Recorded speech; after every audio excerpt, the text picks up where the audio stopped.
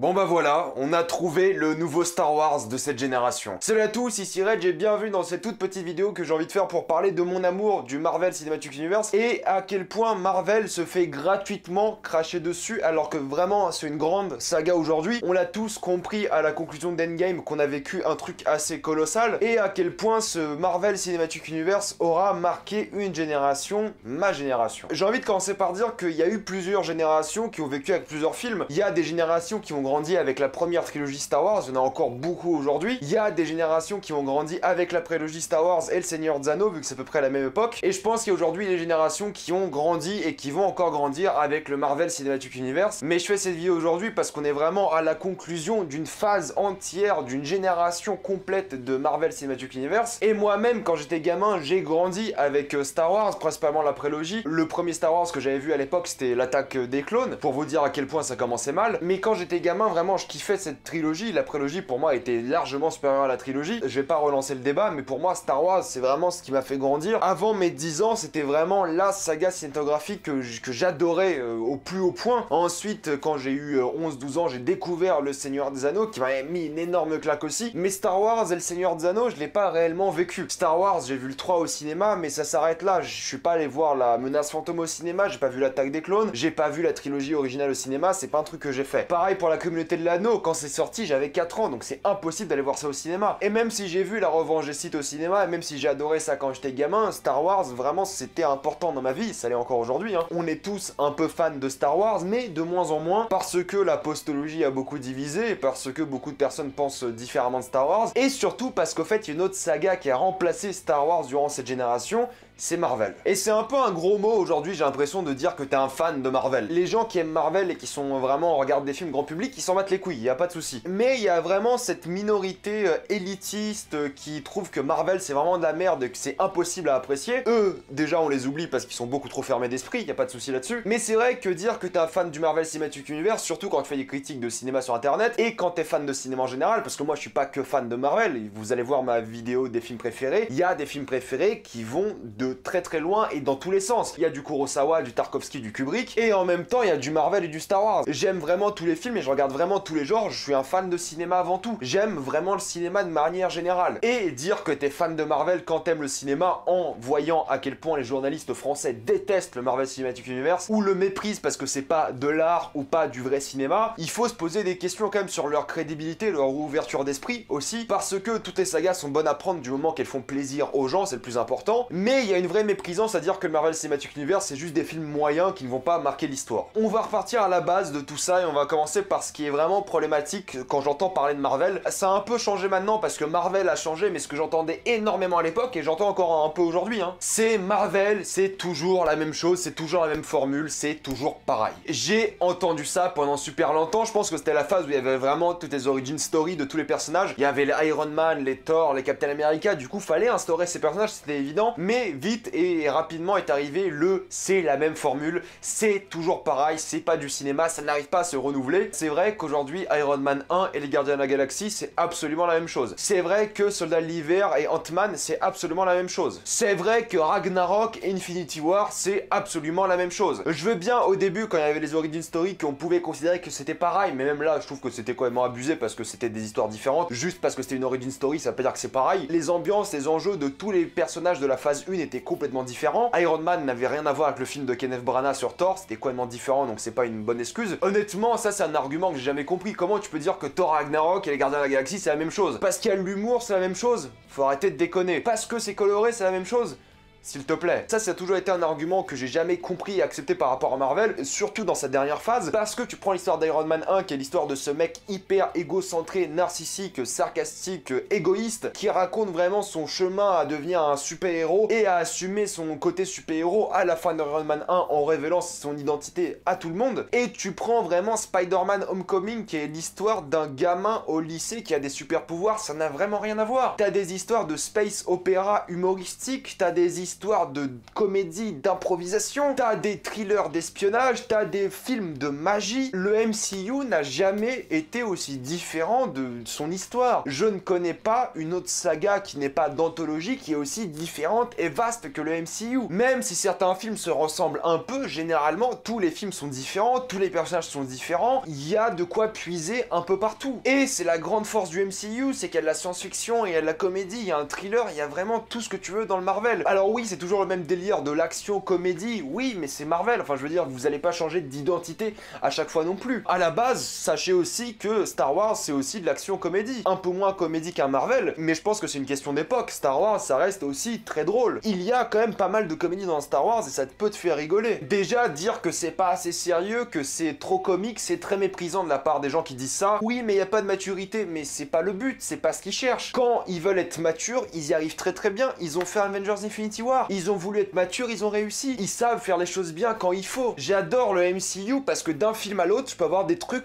complètement différent. Black Panther, c'est un monde qui n'a rien à voir avec le reste du MCU. Ils ont créé un propre univers dans Black Panther et ensuite ils ont fait Infinity War. Les deux films n'ont rien à voir, donc j'aime le MCU pour cette diversité. Cette diversité visuelle, cette diversité de genre et cette diversité aussi de auteurs qui ont fait ces films. Il y a tellement de réalisateurs qui ont été complètement différents durant cette saga, mais qui ont quand même tous gardé la même identité à la saga. Ça qui est incroyable. Alors on peut dire que c'est des cahiers des charges et des yes man, des fois oui, mais garder avec autant d'auteurs différents, de réalisateurs différents, la même identité durant toute une saga, c'est vraiment incroyable. Et le plus incroyable à ce sujet-là, c'est de ne pas avoir sur 22 films un film catastrophique. Combien de sagas connaissent des films catastrophiques? Star Wars, il y en a. Terminator, il y en a. DC, il y en a. Vraiment, il y a énormément de sagas de films qui ont eu beaucoup d'épisodes qui ont un épisode catastrophique. Même le pire épisode de l'univers Marvel, Thor 2 ou Iron Man 2, vous choisissez lequel, c'est pas de la grosse merde. C'est pas bon, mais c'est pas de la grosse merde, c'est pas catastrophique. C'est pas un film qui est affreusement mauvais, c'est pas un film où t'as envie de t'arracher les yeux. Alors que des sagas avec des épisodes vraiment moisis du cul, il y en a plein. Là, même le pire Marvel,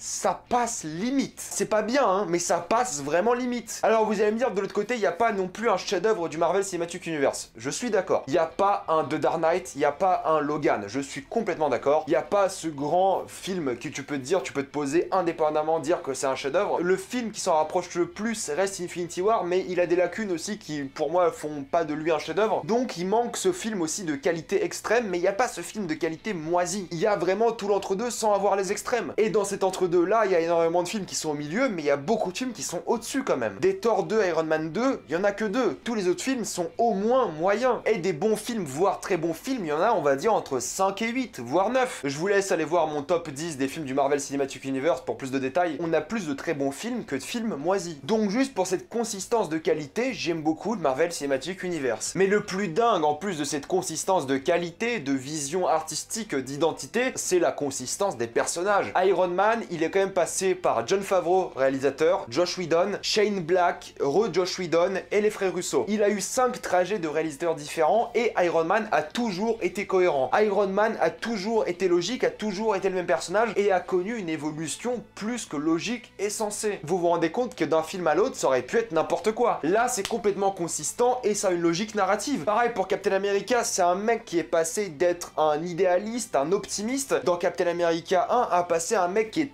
par son gouvernement dans le soldat de l'hiver à devenir un criminel dans Civil War. Vous vous rendez compte qu'il y a eu tellement de films différents où Captain America apparaît, pourtant son raisonnement, son évolution est plus que logique. Et ça marche avec tous les personnages, c'est ça qui est dingue. Ils sont tous logiques depuis le début. Ils connaissent tous des évolutions sensées. Et pareil, il y a des conséquences aux actes de chaque film, il y a une cohérence des conséquences. Les conséquences d'Avengers 2 ont été ressenties jusque dans Endgame. Les discussions par rapport à Ultron reviennent dans Endgame. C'est 4 plus tard et ça parle aussi d'Avengers 1 qui lui était 8 ans plus tôt. C'est quand même impressionnant l'impact qu'a eu la Sokovie sur le Marvel Cinematic Universe. C'est impressionnant aussi l'impact qu'a eu Civil War sur les personnages. Les événements de Civil War, on avait beaucoup critiqué ça à la sortie du film que ça n'allait avoir aucun impact. Il y a eu un impact, il y a eu une importance. Sans Civil War, Thanos aurait peut-être perdu. Si les Avengers étaient encore un dans Infinity War, peut-être Thanos aurait perdu. On n'en sait rien. Et de film à film, t'as aussi un respect des visuels. Il y a énormément de références à d'anciens films par rapport au visuel, même dans les plans de certains films, il y a les mêmes plans que dans les films précédents, où il y a des hommages à ces plans-là, où il y a des travails de foreshadowing depuis d'autres films. Il y a énormément de références par rapport aux phrases, des dialogues vus dans Iron Man 1 qui reviennent dans Endgame par exemple. Vous savez très bien de quelle phrase je parle. Bah ça, ça arrive énormément. Il y a une phrase dans Infinity War qui est prononcée par Doctor Strange, quand il dit qu'il n'a plus le choix, c'est la seule option, qui est prononcée par le méchant de Doctor Strange dans son film à lui. Il y a énormément de références comme ça qui sont dingues. Quand Bucky tabasse Captain America à la fin de Soldat de l'hiver et qu'il lui sort une phrase qu'il lui avait dit dans le premier Captain America, ça a du sens et c'est vraiment cohérent. La consistance, c'est vraiment la plus grosse qualité du Marvel Cinematic Universe. Regardez Star Wars, du 7 au 8, ils ont fait n'importe quoi. Et on va voir le 9, ils vont refaire n'importe quoi. Star Wars, en 3 films, ils ont fait deux fois n'importe quoi. Marvel, en 22 films, ils ont tout fait bien. Il y a un moment, niveau organisation, niveau planning, c'est incroyable. C'est du jamais vu. Jamais on a vu ça dans l'histoire du cinéma. C'est tout nouveau. C'est un travail d'organisation, de planning à des années d'avance qui est juste phénoménal. Juste pour ça, tu ne peux que aimer le Marvel Cinematic Universe. Juste pour avoir posé ses couilles sur la table en disant que voilà, on va faire une saga de 22 films en 11 ans et on va tout niquer,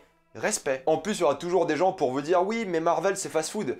Ça veut dire quoi c'est fast-food Ça veut dire quoi? Tu manges toujours au restaurant, toi? Vraiment Toujours? Ça, ça veut juste dire que t'es méprisant quand tu dis que c'est fast-food. Ça veut juste dire qu'en fait, tu vas regarder le film, tu vas l'oublier. Soit tu peux oublier les films, mais ça veut aussi insinuer que tu veux manger au restaurant tous les jours. Ça veut dire que toi, dans ta vie, tu te regardes que des films d'auteur. Mais si tu aimes que les films d'auteur, pourquoi tu regardes Marvel? Tu sais déjà que c'est pas ton genre de film. Alors pourquoi tu vas faire chier le monde en disant que c'est fast-food? T'aimes pas manger fast-food de temps en temps, de taper un Marvel comme ça? Parce que l'argument fast-food, je ne l'ai jamais compris. C'est toujours un Big Mac, tout ça, mais mais alors? Il est où le problème? Et si tu veux juste regarder des gros films, regarde pas Marvel, ils ont pas l'intention d'être un Fouquet's tous les jours, ça n'existe pas. Il y a aucune saga qui veut être un chef-d'œuvre à chaque fois. On verra la saga euh, James Cameron d'Avatar, ce qu'il essaie de faire avec, mais vraiment, il n'y a pas l'intention d'être un chef-d'œuvre à chaque fois. Mais ce qui dérange les gens quand ils disent que c'est fast-food, c'est surtout autre chose. C'est le fait que des gens préfèrent regarder des films moyens et fast-food plutôt que regarder des films d'auteur ou des grands films. Mais laissez faire les gens ce qu'ils veulent. Ça part du fait que du coup, vu que Marvel fonctionne, les autres films ont moins d'argent. C'est peut-être vrai, possiblement, j'en sais rien. Mais des grands films bon public, il y en a, ça existe aussi. C'est juste que les chefs-d'œuvre n'ont pas toujours attiré tout le monde. Il y a des films qui sont considérés comme des chefs-d'œuvre qui ne sont pas vus par beaucoup de personnes. Combien de personnes nées après 90 ont vu le parrain? Ce mépris par rapport au fast-food, au fait qu'il faut regarder que des bons films dans la vie, c'est vraiment déplorable, je trouve. C'est vraiment vexant pour les gens qui aiment le fast-food. Et quand je dis fast-food, c'est le Marvel Cinematic Universe, c'est que moi, si vous voulez considérer le Marvel comme fast-food, vous faites ce que vous voulez. Mais c'est juste une manière méprisante de dire aux gens que vous aimez de la merde, c'est tout. Je suis désolé, l'argument fast-food, c'est l'argument d'un connard. C'est d'un mec qui veut gâcher le plaisir aux autres, c'est d'un mec qui se croit supérieur aux autres parce que lui, il préfère que les films d'auteur, et c'est surtout l'argument d'une personne qui, je pense, ne se mate pas que des chefs-d'œuvre non plus, qui elle aussi regarde des films peut-être un peu moins bien. Peut-être quelqu'un qui va dire que Marvel c'est fast-food va adorer Fast and Furious. J'en ai vu dans les commentaires, hein. ça existe. C'est un peu lié à l'argument, c'est oubliable. Sur 22 films, avoir au moins la moitié des films qui n'est pas oubliable et l'autre moitié qui est peut-être oubliable d'après certains critères, moi je trouve qu'il y a quand même une bonne moitié du Marvel Cinematic Universe qui est oubliable. Si vous voyez ça comme une série de 22 épisodes d'une intégralité de saison, c'est normal qu'il y ait des épisodes oubliables, c'est normal. Le fait oubliable, c'est quand les gens ils vont voir un film, ils s'attendent à s'en souvenir. Moi, j'en regarde plein de films que j'oublie, ça veut pas dire que j'ai pas kiffé. Ça veut juste dire que je vais pas m'en rappeler parce qu'il y avait pas une scène marquante, une scène vraiment mémorable. Oubliable, ça peut être un argument euh, péjoratif quand tu parles d'un film en soi qui est indépendant, mais dans une saga qui est des films oubliables, c'est pas très grave. L'idée, c'est juste de savoir quel personnage, c'est tout. Un film qui est indépendamment oubliable, c'est grave, c'est-à-dire que je l'ai vu et je l'ai oublié, tant pis pour le film. Une saga qui ait des épisodes oubliables, c'est pas grave. L'essentiel, c'est que la saga ne soit pas oubliable. Et la saga Marvel, pour ce qu'elle a fait pour l'histoire du cinéma,